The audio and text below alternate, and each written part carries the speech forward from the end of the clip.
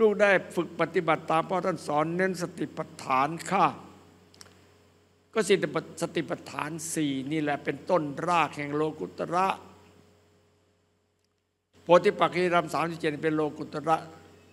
นะเป็นโลกุตระสามสิบเจ็ดโพธิปักขิรามสามสิบเจ็ดนะรวมกับโลกุตระอีกเก้าก็เป็นโลกุตระสี่สิบหกโลกุตระอีกเก้า ทุกสมุทัยนิโรธมรรคและกนิพพานนะเพราะฉะนั้นในคำสอนพระพุทธเจ้าเนี่ยเน้นสติปัฏฐานสี่เนี่ยและคุณปฏิบัติสติปัฏฐานสี่ไม่เป็นกันเลย พิจารณากายในกายตัวที่หนึ่งคำว่ากายคุณก็โมฆะแล้ว มิจฉาทิฏฐิคำว่ากายแล้ว ถ้ามีกายในกายมันมีกายนอกไหม ราะฉะนั้นกายมันต้องมีสองมีกายนอกกายใน ถ้าคุณเข้าใจกายนอก อย่างเดียวคือกาย ในไม่มีกาย ในไม่เกี่ยวกับจิตกับมโนวิญญาณ คนก็มิจฉาทิฏฐิทวะถาวรแล้วมิจฉาทิฏฐินิรันดรนะมันก็จบเพเลยกระดุมเม็ดแรกผิดวันกายจะต้องมีสองแล้วก็พิจารณากายในกาย การพิจารณากายในกายในในเข้าไปมันจะไปถึงเวทนากายในกายคือตัวกลางของกายนอกกายใน คือตัวต้นของเวทนา เวทนานอกเวทนา ก็คือตัวกายในกาย กายนอกกายใน เวทนาใน เวทนานอก แต่เขาไม่ได้แต่ไม่ได้พูดว่าเวทนานอก เหมือนกันกับกายนอกเราไม่ได้พูด มันก็มีเวทนานอกก็คือกายใน มันก็เป็นอิทธปัจจยตาเชื่อมต่อกันไปงี้แล้วก็ไปหาจิตจิตในจิต กายก็จิต เวทนาก็จิต แล้วจิตต่าง ๆ นั้นก็คือราคะโทสะโมหะ คุณก็เรียนรู้ภาวะสองของเจโตปริยานสิบหก ราคะก็มีอะวิตาราคะ โทสะก็มีวิตาโมสะโทสะก็มีสองสองสองสองสองสองทั้งนั้นน่ะแปดคู่ เจโตปริยานสิบหกแปดคู่กูก็เรียนตั้งแต่หัวมันก็คือราคะโทสะโมหะ ก็เป็นหกละสามคู่ทำได้บ้างสังกิตังกิตตังวิกิตังจิตตังตามตระกูลของตัวเองศรัทธาหรือปัญญา มันเป็นก้อนหรือมันเป็นกระจายสังกิตังกก้อน วิกิตังก็กระจาย ก็ทำเก็บรายละเอียดของกิเลสให้ได้ ให้มันเจริญอคตะ มหคตะ หรืออะมหคตะ ไม่เจริญไม่ดีไม่เป็นมหาไม่เป็นอัคคะไม่ได้ผลไม่ได้มากไม่ได้ชัดเจนความเจริญไม่ได้ กูก็ทำให้เป็นมหคตะให้ได้ เมื่อเป็นแล้วก็เจริญไปเรื่อยๆเลยว่าสัอุตระอัตมาไม่ต้องจำพยัญชนะพวกนี้หรอกจำได้เองอะเพราะมันมีสภาวะ ไล่ไม่ผิดด้วยไม่สลับสับสนด้วยมันเป็นสัอุตระคือเจริญ จิตเจริญแล้ว แต่เจริญกว่านี้ยังมีอีกยังไม่จบต้องเป็นอนุตตรจิต ถึงจะสูงสุดมันสรุปอนุตตรจิตมันจบด้วยอะไร จบด้วยสมาหิตังอสมาหิตัง มันยังเป็นจิตที่ตั้งมั่นเที่ยงแท้ได้หรือยัง มันหลุดพ้นจากกิเลสได้ยังอวิมุตติหรือวิมุตติอีกสองคู่ ตรวจสอบอีก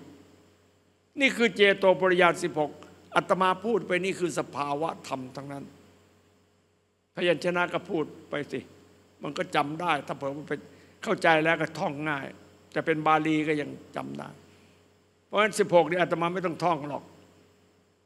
บาลีว่าตัวนี้ตัวนี้ตัวนี้ ทั้งทั้งที่มันจำยาก เออ มันจะ ก็จำพูดซ้ำๆต้องกระเดก็จำได้หมดตั้งสิบหกตัวนะในบาลีอะใครจำได้บ้างนะเจโตปริยาสิบหกมีอยู่ไม่กี่คน เอ๊ะทำไมจำไม่ได้เลยพูดซ้ำพูดซากก็น่าจะฟังจำได้ เหมือนท่องสุดคูณก็อย่างหนึ่งยิ่งมีสภาวะคนก็จำได้อย่างอาตมา คือจะลอยยังได้อย่างอาตมาถึงจะจำพยัญชนะนี้ได้ง่าย เหมือนอย่างอาตมาเอาขนาดนั้นเนอะเอาใช้อาศัยมันบ้างพยัญชนะนะนะเฮ้ยครึ่งแรกผ่านไปจบหมดเอ่อมันเลยไปเจ็ดโมงสามสิบห้านาที ก็ให้ทำชั่วโมงหนึ่งหรือชั่วโมงครึ่งอาตมาก็ไม่ค่อยเบรกมันไม่ดีเลยนะมันยังอีกสองข้อความ ของของคุณพอนี่ก็ยาวพอสมควรอ่ามันยาวอ่าเขาก็เอาเล่าของเขามานักเอาฟังแล้วอ่านดู ลูกได้ฝึกปฏิบัติตามพ่อต้นสอนปฏิบัติสติปัฏฐานสี่เมื่อกี้ก็หยิบสติปัฏฐานสี่มาขยายความซะเมื่อวานนี้ยีิบเจ็ดสคมีเหตุการณ์ที่เรียกได้ว่าเป็นรอยต่อแห่งการปฏิบัติ ได้เจอของจริง ได้ใช้สังกัปปะเจ็ดแบบประจันหน้าระหว่างกุศลและอกุศล สู้กันอย่างหนุกตื่นเต้นมากค่ะ โอ้โหดีนะ ปฏิบัติธรรมเป็นเรื่องสนุกสนานนี่ดี ตื่นเต้นมากค่ะ คือลูกได้ทำการเกษตรที่เคยเขียนถวายพ่อท่านแล้วนั้น เกษตรอินทรีย์ของลูกที่ก็ต้องต่อสู้กับธรรมชาติมากมายได้ได้ผลที่เป็นที่น่าพอใจระดับหนึ่ง ได้นำออกแจกอยู่เนืองๆ จนได้สมญานามใหม่จากชาวบ้านที่กล่าวขานถึงโคกหนองนาของลูกว่าแอตแทกสวนปันปันสุขเออเมื่อวานลูกก็โปรดน้ำโอ้ยขอไปไปอ่านเป็นโปรด ไปรดน้ำอ่านสลายเป็นสระโอ เมื่อวานลูกก็ไปรดน้ำตามปกติ แต่พลันก็เห็นภาพต้นข้าวโพด ที่กำลังงอกงามพร้อม ให้ผลเหลือแต่ต่อ โอ้ข้าวโพดที่ถูกทำลาย เขาถ่ายรูปมาด้วยนะ ผู้ผลิตที่นำมาปันสุกนี่ผลผลิตที่นำมาปันสุกก็ใส่ถ่ายรูปไว้ด้วยนะไอ้ที่ถูกต้นข้าวโพดถูกทำลายก็ถ่ายมาให้ดูเหลือแต่ตออ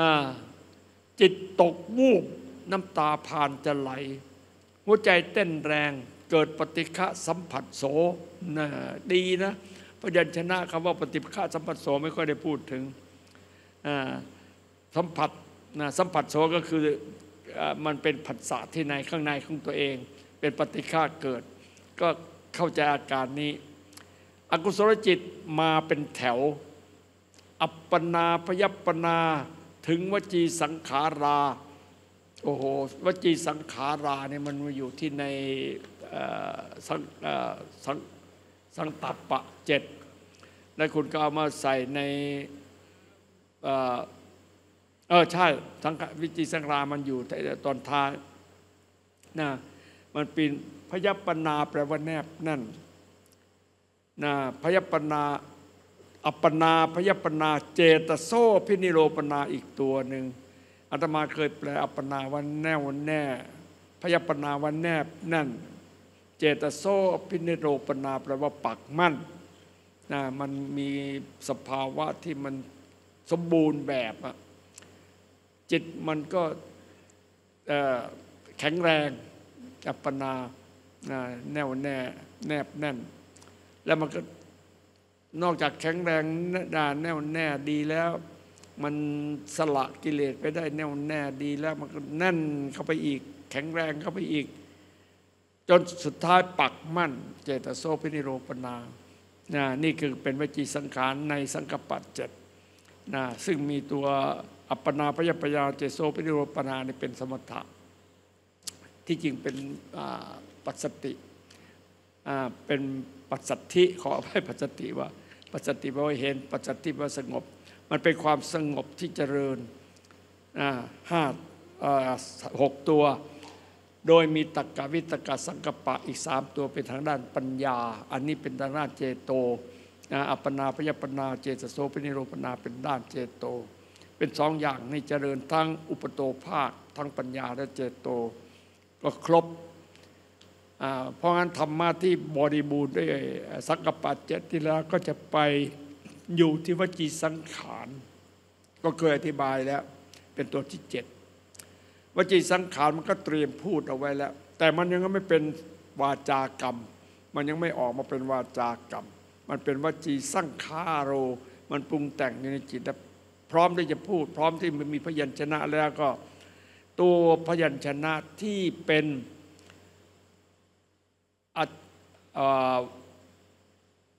วัด อะไรวัจรสัมผัสโซอะคู่กับปฏิฆาสัมผัสโซอะอธิวัจนะ อธิวัจนะสัมผัสโซ มันเป็นภาษาแล้วอธิวัจนะเป็นคำพูดแล้ว เมื่อมันมีคำพูดแล้วเป็นวจีสังขารที่เป็นอธิวัจนะสัมผัสโซ สภาวะปฏิฆาสัมผัสโซนั่นคือ สภาวะธรรมที่เป็นจิตมันเกิด ถ้ายังไม่มีอธิวัจนะยังไม่มีพยัญชนะ เรียกคำนั้นคุณก็พูดออกมาไม่ได้ แต่คุณมีสภาวะ อย่างเช่นคุณไม่รู้บาลี คุณก็ไม่รู้ว่าจะเรียกคำนี้ออกมาว่าไงอันนี้เป็นเวทนานะ อันนี้เป็นสัญญานะ เป็นสังขารนั้นคุณก็ไม่รู้ เพราะคุณไม่มีพยัญชนะ แต่เมื่อคุณมีพยัญชนะมีอธิวัจนะแล้ว คุณก็พบมีสภาวะนี้อ้อพยัญชนะอันนี้คุณก็กล่าวมาได้ เป็นวจีกรรม แต่อันนี่วจีสังขาราเนี่ยมีแล้วคำพูดนั้น อธิวัจนะก็มีแล้ววจีมีมีแล้ว แต่มันยังไม่ได้พูดออกมาเป็นวาจากรรม หมือเบอร์หรือวจีกรรม มันก็เป็นวจีสังขารอยู่เท่านั้นนะเนี่ยตมาอธิบายพยัญชนะสื่อสภาวะละเอียดละเอียดเข้าใจไหมโอ้โห เก่งจังเลยนะละเอียดแล้วนะเนี่ยที่อาตมาพูดเนี่ย